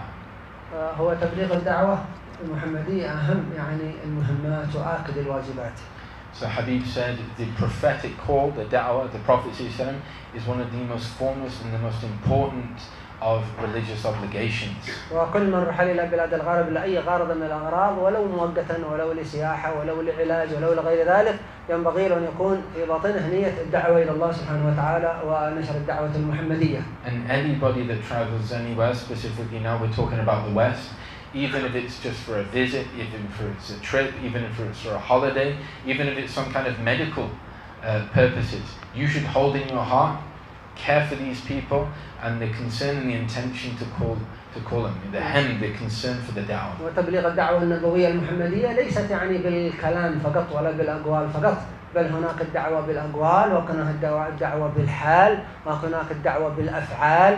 نفس الأفعال هي تعتبر دعوة إلى الله سبحانه وتعالى. حتى لو كان إنسان يصلي بوقار وبخشوع وبحضور فراه يعني غير مسلم هذه دعوة إلى الله. والمرأة المسلمة مثلا عندما تمشي وهي مثلا مكا- مغطية شعرها هذه تعتبر دعوة إلى الله. المساجد عندما غير المسلم يرى المسجد هذه تعتبر دعوة إلى الله. صامتة. ليست متكلمة دعوة صامتة وهذه الشيوخ الصالحون يقولون دعوة الحال قد تكون أبلغ من دعوة الكلام أبلغ من دعوة المقال So the different m- ways of giving da'wah, the conveyance of the prophetic call, isn't just merely reduced to speech, but anything which is combined and rooted with a sincere intention that it can it can be da'wah. And there are different expressions of this. There's da'wah in your actions. There's da'wah even in your hal, your very state of being. A person may be praying and in a deep state of presence with Allah subhanahu wa ta'ala and Allah causes it that somebody looking at that person, even if you're not you're not doing it intentionally to show other people, but Allah causes somebody to look at that person and they're so affected and moved by that state of presence, it can have an effect on that person. It's transformative and brings them close to Allah or brings them to Islam. Habib Kadhim said, and another example is, for example, like the likes of our sisters, in wearing a hijab, if it's worn with the correct intention, it's connected to sanad and so on and so forth, that this can have a transformative effect upon a person looking. That people will look with intrigue and they'll look with curiosity and it can have a powerful effect. And these are one of the examples. And to this meaning that our shuyukh, they say that the, the, the da'wah, the calling, the summoning back to Allah in one's hal, one, one's, one's inner state can be more transformative and more effective than the, than the calling of just one of mere words and speech. كل واحد ممكن أن يكون داعيا وليس كل واحد ممكن أن يكون مفتيا لكن الداعي كل واحد الطبيب ممكن يكون داعي والتاجر وصاحب العمل ممكن يكون داعي والمسافر ممكن يكون داعي ولكن المفتي الذي درس الفقه والدعوة عام من الفقه الدعوة عامة والفقه خاص فن من الفنون فقط So we've got to understand that everybody has the capacity to be somebody who is calling to Allah, a da'i. Every single person. A doctor with the right intention can be a da'i. Somebody that's involved in their profession, whatever it may be, the spectrum is vast and broad, but not everybody necessarily can be a mufti, somebody that's received authorization to, to give religious edicts and religious fatwas. This is something which is a specialization within the broader spectrum of sacred knowledge. However, every single one of us, through carrying this care and being connected to the sanad, can be a da'i and somebody that summons and calls back to presence كان حق شيوخ شيوخنا الإمام الحبيب عمر بن أحمد بن أبي بكر بن صميت وكان قاضيا وكان داعيا إلى الله ولم يتكلم ابدا ولم يذاكر ابدا ولم حتى يدرس وهو قاضي فكان الناس تسلم على يده ويهتدون وهو ساكت فقط لا يتكلم. One of the examples of this is the teacher of our teachers of our teachers, Habib Umar bin Ahmed bin, bin Abu Bakr bin Samayt, who, who resided in East Africa in Zanzibar on the Comoros Islands. That he was a mufti, he was a qadi in fact, he was the judge of that land, but he would very rarely speak, he would hardly ever speak. And he would very rarely teach, but the nature of his spiritual state was so profound that people would take their shahada. They would come up to him, just look at him, enter into his presence, be so transformed by his spiritual state, they would become Muslim. This is an example of that reality. في إحدى الجزر في أفريقيا. ظهر رجل يعني يشكك الناس في دينهم ويشكك الناس في ثوابتهم وعقائدهم وما شابه ذلك. فنظروه العلماء وجادلوه. فلم يكن عبدا. صار يشكك على العوام ويخرج المجالس ويتكلم في هذا حتى شكوه إلى الحبيب عمر بن صميت هذا قالوا لابد يا حبيب هذا تعمل معه. حل تدعو الله عليه حتى يخرج من البلاد أو تعمل له أي شيء؟ فنحن هذا صار الآن ينشر الشر. So one in one particular example, that it was at the time where there was a kind of inundation of various other ideologies and and and and, uh, and thoughts that the one one man was so affected, he apostated and actually became like one of the great like major ambassadors for atheism within the region, and the scholars spoke to him, they debated with him, they had these you know, these long extensive debates, no effect whatsoever. They went back to Habib Umar bin Sumayt and they said, Habib, you gotta you gotta find a solution for us. Either you raise your hands, you make dua that Allah just rids us of this challenge of this fitna, or you, you give us another solution because this man's having a negative effect on, upon the society. ثم دعوا الى عند الحي عمر بن احمد بن صميت هذا فقال انا ساذهب الى عند الحي عمر بن صميت هذا حتى واناظره وحتى اسكته من هذا الحي عمر بن صميت وكان مصمما على نشر يعني ما يعتقده حق من الباطل. So this man got news that people were having a word with Habib Umar bin Sumayt behind his back. He said, who's this uh, Umar bin Sumayt? I'm going to go to him and I'll debate him just like any one of you. I'm ready. Just, just you arrange the meeting. فحضروه إلى مجلس الحبيب عمر بن صميت وقالوا له هذا هو يا حبيب عمر هذا الرجل يعمل كذا ويعمل كذا وتوقعوا وظنوا الحبيب عمر هو قاضي أيضا سيناظره أو سيجادله أو يعمل شيء ابدا ما اخذوا بالاخلاق أهلا ومرحبا تفضل واجلس فقابلوا بمنتهى الاخلاق كانه لا يعمل شيء من الشرور ابدا. So one particular time it took place that Habib Umar bin Sumayt, you know, had this this gathering and they said to the man, look, he's here, you come. When he attended the gathering, the people on the other side were like, to Habib Umar ibn Sumayt, that's the guy, he's the one doing, making all the problems, causing all the disturbance. So he looked over at him, and the man saw him, they met eyes, and the man anticipated that because Habib Umar was also the Qadi, he was the chief judge of the entire region, somebody with a vast amount of knowledge both inwardly and outwardly. His, his anticipate, what he was anticipating is that Habib Umar ibn Sumayt is now going to go into deep kind of polemical debate and engage with him. He did nothing of the sort. He looked over at him, smiled at him, greeted him, asked him to come close to him, and just had beautiful character with the man. And the man was kind of like caught off guard. He wasn't expecting this kind of interaction. فقابله الحبيب عمر بن صميت هذا بكمال الاخلاق والمعامله العاديه كانه لا يعمل اي شيء وبقي المجلس علمه عليه ثم الحبيب عمر قال لاحد الحاضرين انشد القصيده فانشد القصيده حق سيدنا الامام الحداد رضي الله عنه وارضاه اسمها نسيم حاجر يا نسيم حاجر هل من خبر تشفي به الخواطر عن جيرة الحي الذي نجاور فالشوق قد أربع على السراير؟ وما يقول هذا جمال الحق قد تجلى ولم يكن محجوب قبل كلا لكن قبل العبد حين يزلى شاهد وكانت منه السواتر قصيدة مشهورة حق سيدنا الإمام الحداد. فانشدوها عند الحي عمر بن صميت عمر بن صميت. وخلاص. ولم يناظره ولم يكلمه ولم شيء ودعا له ربنا إن شاء الله يبارك فيه ويهديه. ثم الحي عمر بن صميت خلاص انتهى المجلس. رتب الفاتحه قدام الناس فجاءوا إيش هذا عمر؟ ما كلمته ولا نصحته على إيش فائده من المجلس هذا؟ قصيده فقط وفاتحه خرجوا. هذا حصل المقصود. فخرجوا فالرجل هذا وجدوه خلاص بكى قال أنا تبت إلى الله. هذا جلسة الحي عمر بن صميت حولت حالي إلى الله. الدعوة بالحال ليس بالكلام. ولا شيء So things that Habib Umar bin Samit's uh, way of being with this man was so so at ease. That the man just was kind of like, what's going on? Like maybe he doesn't know who who I am or what what, what I've been doing. But he just dealt with him gently and he asked how he was doing. It was just as if they were friends. It was there was the assumption was that as if they were a friend, they were friends. He didn't say anything to refute. He didn't even mention the topic.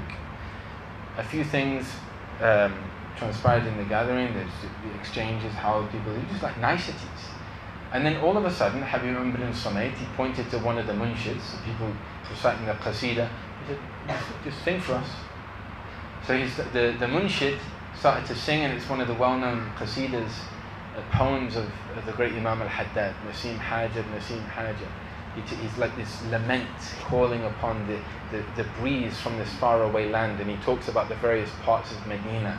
Is, do you have any news that will cause my heart to be cured and settled? Because shock, like I'm yearning to hear about it. It's an incredible long qasida and towards the end of it, he says, Allahu Akbar hadihim al-haqiqa, Allahu Akbar, this is the reality.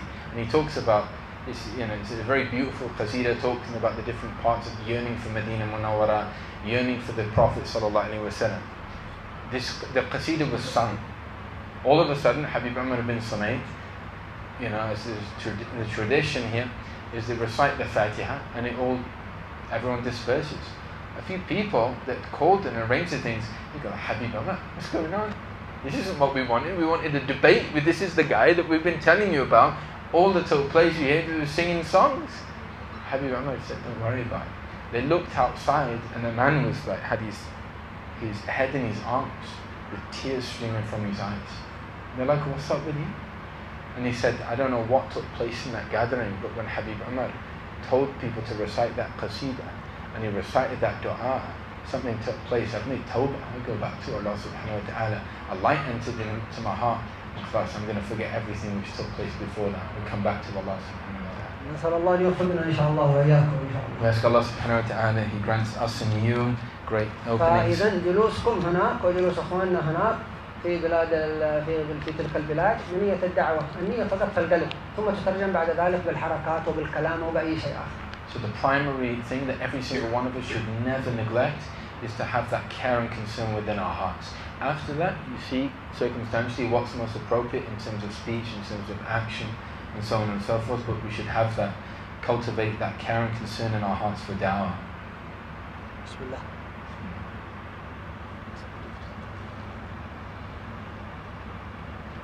Does anyone of the brothers have a question? The, the, the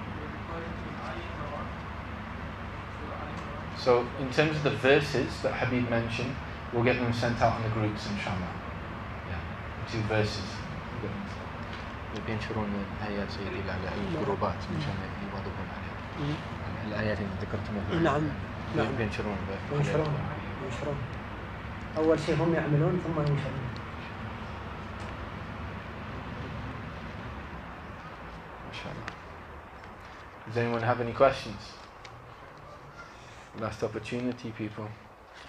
Bismillah. No regrets. Um, please raise your voice if you can. I I have a question. Fadal. Like, um, what do you do in terms of like, if, if your community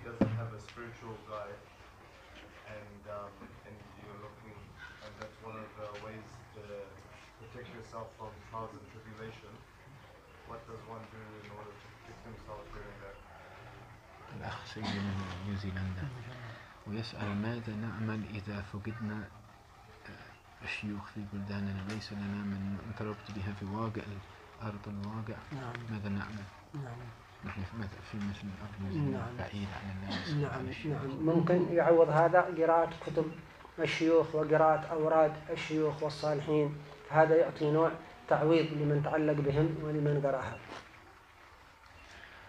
So Habib said in response to those people that find uh, that they're far away from spiritual guides and the shuyukh and they don't have this ability to kind of frequent their gatherings with consistency, Habib said the solution to that, the, the beginning solution, is to make sure that you have a, a, you're attentive to reading their books. بعض الكتب بعض الكتب ما شاء الله تؤدي ما يؤديه بعض الشيوخ في حال وجود أجسامهم في حال وجود أشباحهم.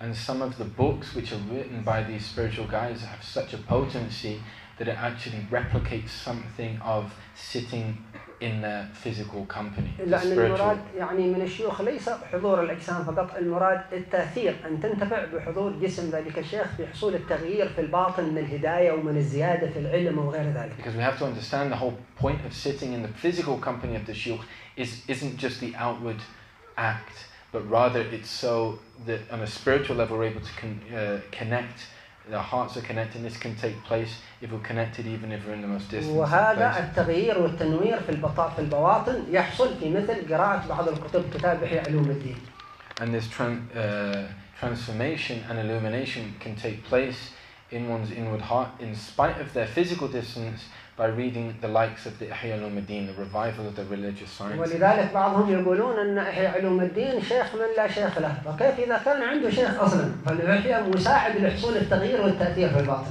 So they say the likes of these books, they're so spiritual in, in, in what was enfolded in their reality that reciting or reading through them, meditating upon them, it's like a sheikh for the one that has no sheikh. But what, what about the person that does have a sheikh, even if they're in a faraway land, but they do use as a means to come close to them, you know, they access these books and they meditate and contemplate. upon them. فقراءة مثل كتاب إحياء علوم الدين قراءة مثل كتب الإمام الحداد قراءة مثل كتاب بداية الهداية قراءة مثل كتاب الطبقات الكبرى للإمام الشعراني. هذا مجرب إذا قرأه الإنسان يحصل عنده انبعاث اسمه الباعث ونشاط. حتى إذا كان كسلان لا يريد أن يقوم آخر الليل ويريد أن يصلي الوتر عندما يقرأ الكتب هذه ينبعث. حتى إذا كان كسلان لا يريد أن يقرأ الأذكار والأوراد أو سلطت عليه بعض الظروف كسلان لا عنده رغبة أن يقرأ الأذكار والأوراد. عندما يقرأ هذه الكتب تأتيه هذه الدوافع النورانية. ينشط إلى قيام الليل ينشط إلى العلم ينشط إلى الخير ينشط إلى أعمال البر قراءة مثل هذه الكتب مجربة. إحياء علوم الدين طبقات الكبرى العارف الشعراني بعض كتب الإمام الحداد حتى كتاب بداية الهداية. الصغير للإمام الغزالي مجرب فيحصل الغرض. من وجود الشيخ أن يعلمك وينورك ويحصل البركة والانبعاث فقراءة هذه الكتب ملآنة بالشحنات الشحنات النورانية التي تجعل الإنسان ينتفض ما شاء الله لأعمال الخير حتى وإن كان كسلانا So Habib said that in apportioning this kind of like daily routine, this schedule of recitation as a spiritual practice, it has an effect of connecting people and, and illuminating the heart, awakening the soul, particularly certain books, the likes of which we mentioned, the Ihya of Imam al-Ghazali, the revival, the likes of the, uh, the, the stories of the awliya by Imam uh, Sha'rani, some of the books of Imam, many of the books of Imam al-Haddad, for example. Habib said even the likes of Bidayat al-Hidayah, the beginning of guidance by Imam al-Ghazali, which ostensibly is a very concise, it's a short book, it's not one of the major works in tasawwuf, but because of the nature of the soul that wrote it, it has a spiritual potency that you can derive from. And this has an effect in one's spiritual practice. If you become lazy in, for example, the, the, the, the practice of waking up for, for tahajjud, this has an effect, it energizes you. It has a a mystical effect where it causes you to gain this, regain this spiritual himma and this spiritual energy. If, for example, you become complacent, complacent or neglectful in reading your, your dhikr, your daily adhkar, this has an effect in spiritually of just kind of um, giving this boost. So these particular to have a, as a spiritual practice with consistently to read the books of the awliya and the salihin. المترجم إذا ما يعرفون العربية سيدي إذا ما ما يحسنون العربية يقولونها بالترجمة نعم الترجمة الترجمة تؤدي معاني الألفاظ So طبعاً. even if you, you don't understand the Arabic language, Habib said that the translated works of these books, it, it indicates to the, to the meanings which were meant and it's enough of a conduit for that light to flow.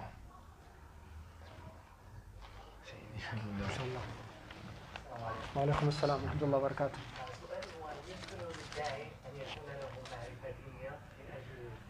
كيف ممكن يكون هل يمكن للداعي أن أيوه. يكون له معرفة دينية من أجل أن يكون له معرفة دينية معرفة معرفة دينية آه.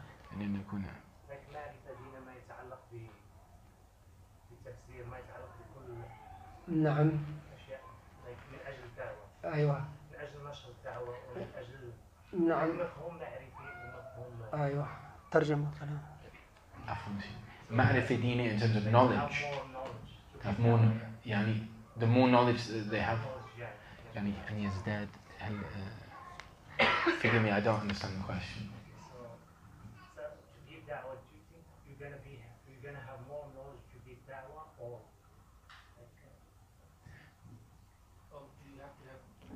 you have to have knowledge to give da'wah? yeah that's my هل يشترط العلم لكي تكون داعيا؟ مم.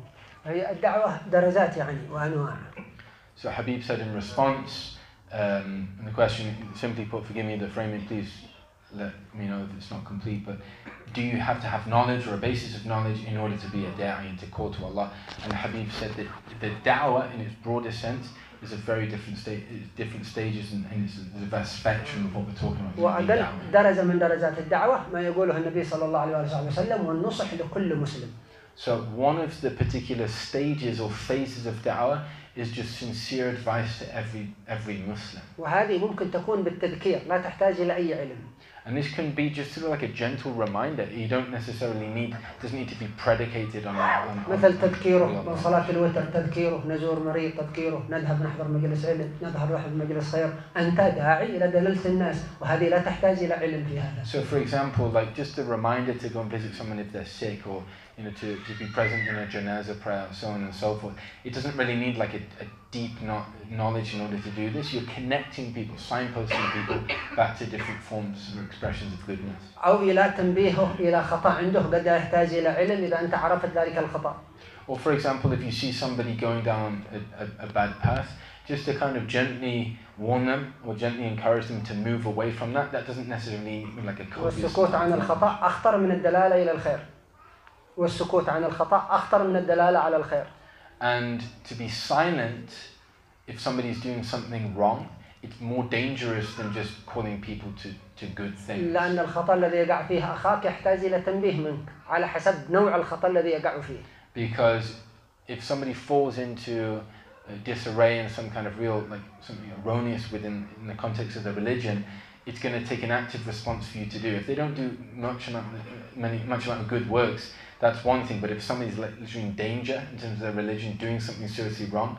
then the danger is. وهو كما قال الإمام الغزالي رحمه الله مثل إذا رأيت في ثوب أخيك أفعى أو عقربا أو في غرفته أو في فراشه الذي أراد أن ينام فيه فأنت لابد لك أن تنبهه في هذه الحالة ولا تسكت عليه ولا تقول أنا أستحي منه ولا تقول أنا لا أعرفه حتى إن كنت لا تعرفه. هذا خطر يؤدي إليه. فلا بد لك كذلك إذا رأيت عليه خطرا في دينه في معاملاته في رباه وفي كذا فلا بد لك أن تنصح في هذه الحالة. نصح أنت لا يحتاج هذا إلى علم يحتاج إلى نصح فأقل درجات الدعوة النصح. ثم العلم بعد ذلك متوسع من أراد أن يدعو إلى الله بالفقه فيتخصص أو بالتفسير أو بالحديث فلا بد له أن يكون له علم في الدرجة الثانية So as Imam al-Ghazali mentions, he said if, if somebody's lying down or on the side of the room and you see that they've got like a scorpion or a snake, some kind of poisonous insect crawling up their back, you're not going to say, oh, I feel shy about letting them know, uh, maybe they're not going to accept my advice.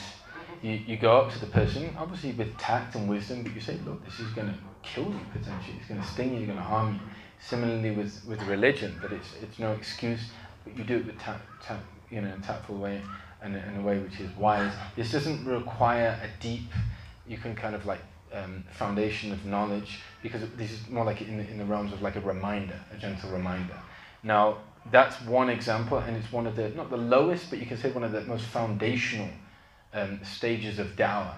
The next stage, or that which require, does require knowledge, is if your channel of dawah is going to be in, for example, serving people in, in the realms of fiqh.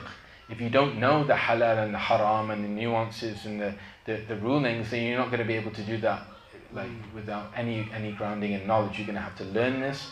And if that's your particular channel for da'wah, then you can call to Allah and bring people back into presence, back into dhikr through um, the knowledge of fiqh and so on and so forth. نعم. وكما قال آه، شيخنا الحبيب عمر حفظه الله كذلك حتى في طريقة الدعوة تختلف على اختلاف الحالة.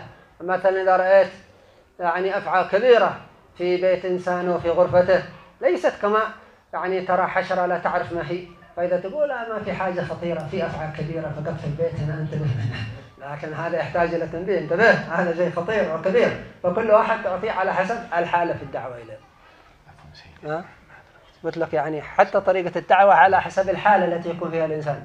فإذا فرضنا رأيت أفعى كبيرة وخطيرة في بيت إنسان وفي حجرته فلا بد أن يكون طريقة التنبيه تدل على خطورة هذا الأمر. وليس يعني بصيغة خفيفة تقول ما في حاجة خطر ولا في شيء في أفعى كبيرة في الغرفة حقك إن تزجره بخلاف لو كانت حاجة خفيفة تعطي.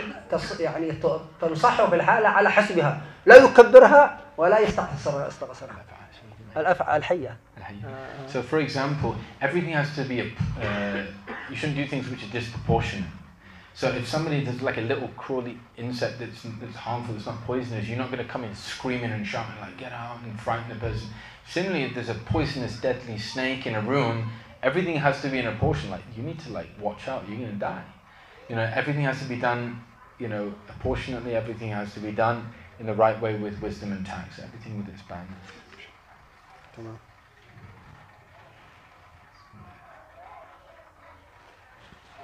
وعليكم السلام ورحمة الله وبركاته.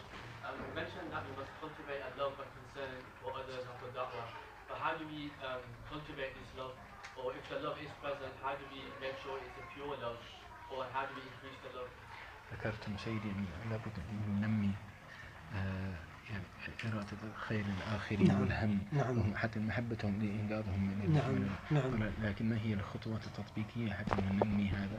في بواطننا نعم الآخرين؟ هو أول الخطوات التطبيقية في هذا الدعاء للمسلمين والمسلمات المؤمنين والمؤمنات بأن الله يصلح أحوالهم أن الله يشفي مرضاهم أن الله يزيد أنوارهم أن الله يسعد قلوبهم ويفرح قلوبهم ويجعلهم دائما فرحانين المسلمين مسرورين أن الله يبعد عنهم كل ما يؤذيهم. الاستمرار في مثل هذه الدعوات حتى وإن كان في البداية بمجرد الكلمات والألفاظ لكن مع الاستمرار يولد الهم الحقيقي ويولد الحال وأيضا صاحبه يرتقي مراقي كبيرة وسريعة من الله سبحانه وتعالى.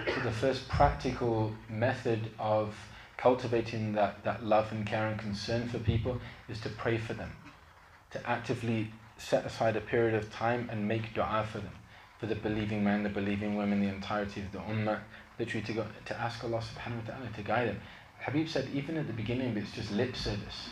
The beginning is just you don't really feel that care or concern, but you know, it's that after a period of time you're going to start to be concerned because Allah's going to show to you certain things, and if you if you're continuous upon this, it will start to cultivate love in the heart. تمام انظر كيف الدعوات يفرح قلوبهم يجعلهم دائما مسرورين يحفظ أديانهم يحفظ أي أمر يشوش عليهم الدعاء يولد بعد ذلك حال So when you consistently ask Allah, Allah guide them, Allah grant them ease, Allah, you know, assist them in all of their affairs. You can't continue doing that other than it's going to produce a, a state in the heart of care. You're going to have, it's going to affect, that, that, that practice is going to affect the heart.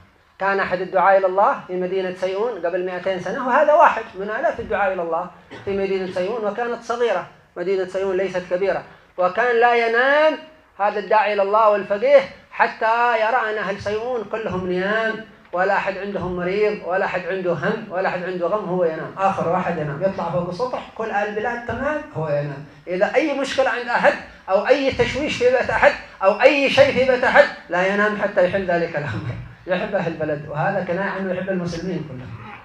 One of the examples of this is one of the great scholars in Du'at in, in, the, in the town of Sayun, and, and this was a long time ago. During this time, Sayun was a small, small town. That he would not sleep other than he would uh, uh, find out that everybody in the town was, was okay. If they needed anything, he wouldn't be able to sleep. Even in terms of praying for them, if somebody had passed away, he would allocate this time to pray for them and so on and so forth. So that, and this is one of the examples of this practice, praying, in praying for people. وكان إذا مات أحد من أهل سيئون لا يهدأ أبدا يأمر طلبته وتلامذته اقرأوا القرآن لهذا الميت حتى لا يعرفه. اقرأوا ألف من سورة الإخلاص اقرأوا ألف من سورة من سبحان الله وبحمده يقرؤون له الألوف حتى يرون الميت في المنام أو يرون الميت في المنام. فإذا آه حد رأى رؤيا فيقول أحدهم نعم البارح هذا الميت أنا رأيته ما شاء الله في الثياب الخضر في الجنة والحمد لله الآن خلاص تمام خلاص. فلا يهدأ حتى تظهر رؤيا مبشرة حسنة صالحة لمن مات. ولا يستمرون فيه. يقول هذا قد يكون عنده تقصير ونحن لا نعرف وقد يكون عليه حساب ونحن لا ندري. لابد من الآن أن نعاونه. نقرأ له سورة الإخلاص نقرأ التسبيحات حتى يكون قبره روضة من رياض الجنة. فإذا ظهرت المبشرات أطمئن في هذه الحالة. To such an extent that this one particular Habib would uh, call his students, his disciples, to pray for somebody if they're deceased. And he would tell them specific things, read such and such amount of Surah Al-Fatiha, donate it to them. Ask Allah subhanahu wa ta'ala, you know, causes its light and its nur and its blessing to be a source of, you know, ease for them in the grave. Surah Al-Ikhlas, so on and so forth. To such an extent that he wouldn't sleep until one of his students would actually see the person in a dream, which would be some kind of indication that the person was okay and everything was taken care of. And this is a very deep and profound spiritual kind of uh, station where the person he would not sleep and wouldn't rest until he saw a dream that the person that just deceased was in a good state and in fact entered into Jannah. الأعمال المقربة للإنسان وللطالب وللطالبة وبسرعة إلى الله الدعاء للناس عندما يدعو المسلمين حتى في الجلسات العامة وفي الزيارات عندما تدعو أنت المسلمين الله يعطيك حوائجك لأنك أنت تدعو لغيرك وبسرعة تتقرب إلى الله So not only does this have an effect in the continual, perpetual making dua for all people of creating a, a deep prophetic care and concern and love in the heart for those people, but there are other effects also, and one of the most profound of which is everything that you ask for, in reality you're also asking for yourself. So if you ask for these things for other people, that you're actually also asking, and these things are it's a means for those du'as to be to be answered for yourself. يكفي حرارة عليها So you're a bit hot right now. إن شاء الله جلسة أخرى فرصة هم يعني كان مشتاقين إلى الجلوس معكم. وعرفوا أنكم إشراف السفر. نعم. يشكرونكم يعني. على just saying that every single one of we know of various things, everyone's been so keen. To al Qadr, and we know that he's close to travelling, so we just wanted to thank him for his time, and he just came outside of his schedule to be with you all. So.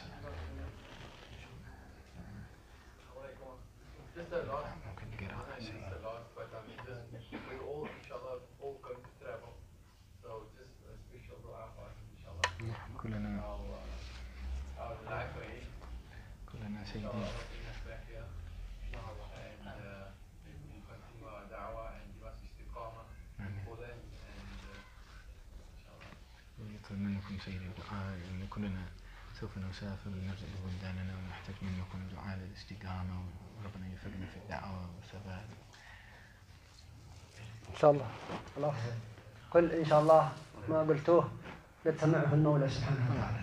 Because everything that you've asked for, Allah has heard you, inshallah. إن شاء الله.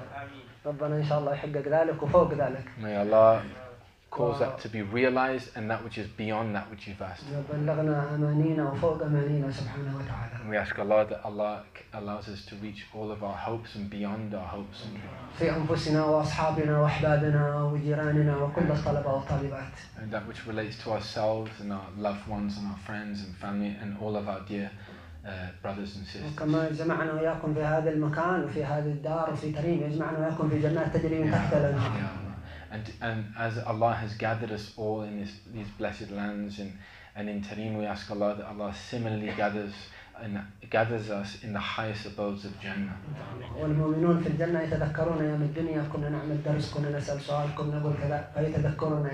And the believers in paradise they reminisce about their days in the dunya that yeah I remember that day when we were sat in class and we asked this question and this happened.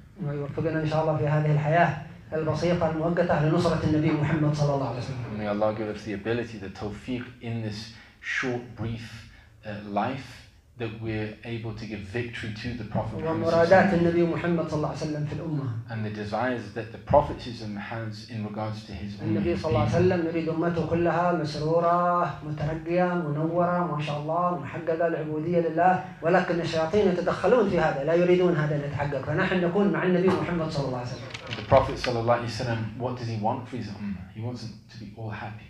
He wants them all to be constantly ascending, constantly you know, deepening in their consciousness. That's what the Prophet ﷺ wants. The shayateen that cause these shadows and darknesses to pervade amongst us, they don't want that. And that's why they call, they're the source of these veils. They don't want that for the ummah. And what we want is what the Prophet says. نعم فالرسول صلى الله عليه وسلم يريد الأمة كلها متآلفة متحابة ولكن الشياطين يريدونهم متنافرين متحاربين متقاتلين خدمة للشيطان And the Prophet ﷺ, what does he want from the Ummah? He wants everyone from the Ummah, all of the Muslims to be together and to love and respect and honour each other. The Shayateen don't want that. They want people to hate on each other. They cause dispute, they cause fighting. So we don't want to be with the Shaitan, we want to be with the Prophet that which he wants. فربنا إن شاء الله يبلغنا وإياكم الآمال وفوق الآمال ظاهرا وباطنا في عوافي في مسرات في طاعات في خيرات في قربات منه سبحانه وتعالى في تعرفات منه جل في علاه. ينفعنا وإياكم بالعلم وبالذكر وبالتذكير وبالشيوخ وبالصالحين وبالكريم برحلتكم هذه إلى تريد وتعقبها أكمل الانتفاع. تعود لكم العوائد توصلكم الموائد تجمع لكم الفوائد من جميع الجهات في جميع الحالات إن شاء الله. وتبلغون اعمالكم كلها الدنيوية والأخروية مع كمال عوافي الظاهرة والخفية ومع كمال تيسير الأمور حسا ومعنى في وزيادة لكم في الإيمان واليقين. وفتح أبواب المحبة والمعرفة والنصره لسيد المرسلين لكم ولأهاليكم ولقراباتكم إن شاء الله يجعل كل واحد أسباب للهدايات وللترقيات على اهاليه وقاربه وجيرانه ومن يلقاه. أسباب للهدايات وللسعادات في خيرات راقين في مراقي المحبة والمعرفة والعبودية والنصرة للرسول صلى الله عليه وسلم وحسن الخواتيم والمرافقة له في درجات الجنان. ويرحم موتانا خاصة موتى المسلمين المتقدمين في كريم وعلى نيات سيدنا وشيخنا الحبيب عمر. سر اسرار الفاتحة وإلى حضرة النبي. اللهم صل وسلم. فاتحة.